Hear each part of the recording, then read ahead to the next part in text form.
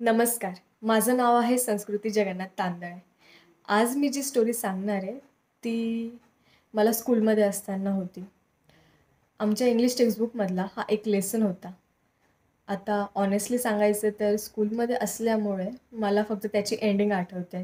बाकी मी स्वतःच काहीतरी रिक्रिएट करायचा प्रयत्न केला आहे माझ्या स्टोरीचे टायटल आहे एका पानाची करामत.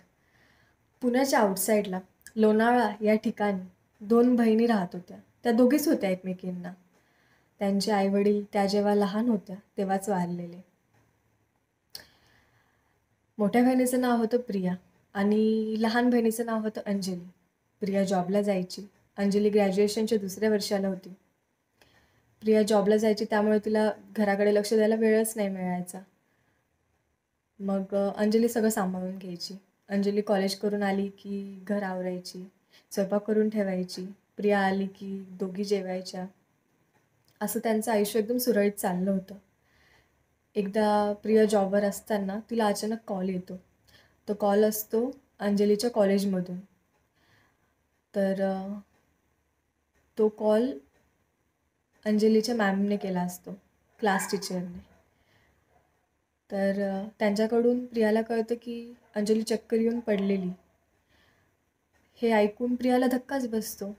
आणि मॅम अजून सांगतात की हे खूप दिवसापासून चाललं आहे असंच. तिला चक्करल्यासारखं व्हायचं किंवा खूप विकनेस फील व्हायचा. आणि हे ऐकल्याबरोबर प्रियाला विचार येतो हे सगळं असं चाललं आहे तर मला अंजलीने काही सांगितलं का नाही? मग प्रिया हडबडीमध्ये जाते अंजलीच्या कॉलेजला जाते. तिला घेऊन डॉक्टरकडे जाते. डॉक्टर सगळे टेस्ट करता चेकअप करता.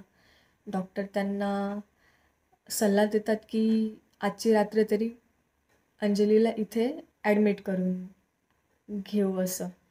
मग प्रिया तयार होते. तर आणि डॉक्टर सांगतात की रिपोर्ट्स तर उद्याच येतील. त्यामुळे ते हॉस्पिटलमध्येच असता.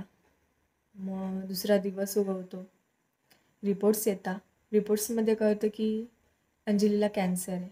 अंजलीला कॅन्सर डिटेक्ट झाला आहे पण डॉक्टरसोबतच हे सांगतात की याच्यावर अजून तर काही उपचार नाही आहे पण एक आशा आहे की अंजली बरी होऊ शकते. हे ऐकल्याबरोबर प्रियाला एक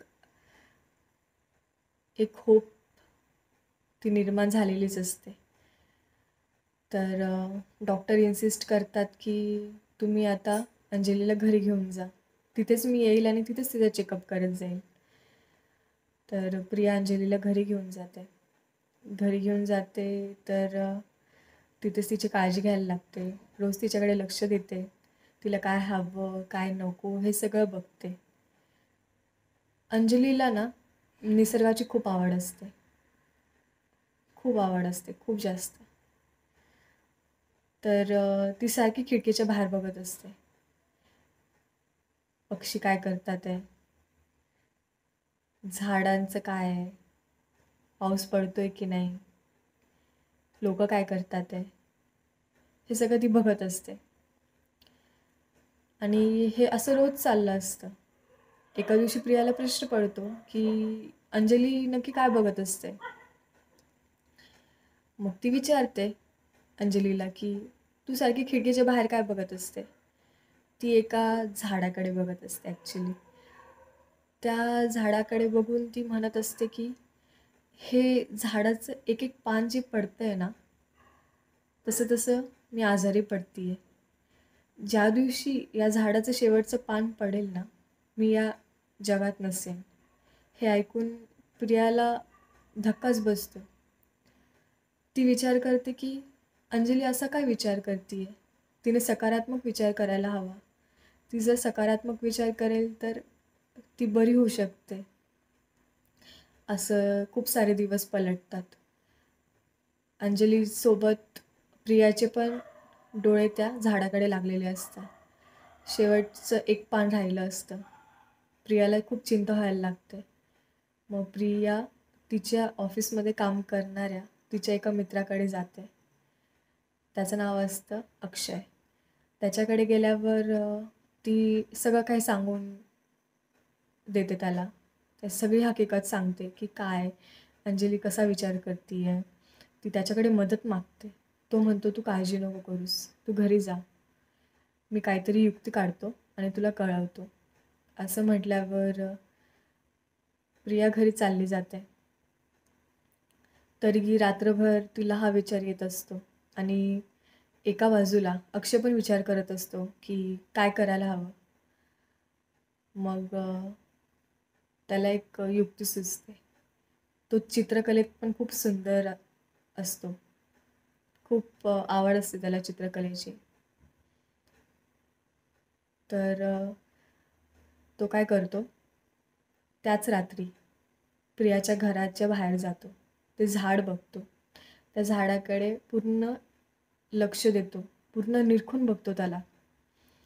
आणि खाली पडलेलं एक पान उचलतो. एक पान उचलतो आणि घरी घेऊन येतो. घरी घेऊन आल्यावर तो हुबेहूब एक पान बनवतो त्या झाडासारखंच. रंग बिंग एकदम तसंच एकदम हुबेहूब तसंच. एकदम ओरिजिनल वाटलं पाहिजे की त्या झाडाचंच पान आहे. एकदम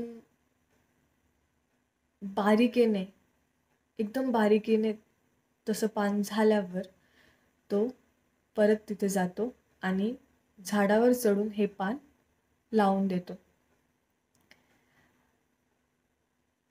सकाळ उ उजेडते. सकाळ उजाडल्यावर प्रियाला चिंता असते. प्रिया अक्षयला संपर्क करते. ती विचारते की काय झालं? तू काही युक्ती काढली का? तो म्हणतो तू काळजी नको करू.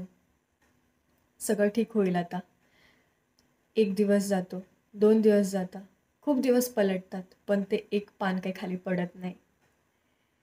आणि ते खाली पडत नाही त्यामुळे अंजली सकारात्मक विचार करायला लागते. आणि ती दिवसेंदिवस बरी होऊन जाते. अशा प्रकारे ही होती. एक पानाची करामत. आता याच्याशीच थोडंसं रिलेटेड मी एक शायरी लिहिली आहे, की थोडंसं त्याला एक तड़का. किसी उम्मीद पर कायम है ज़िंदगी. किसी उम्मीद पर कायम है ज़िंदगी. ज़िंदगी अगर मौका छीन भी ले तो एक जादू तो सबकी किस्मत में मंजूर होता है. बस, सब्र रखो, किसे पता? कुछ अनसोचा हो जाए।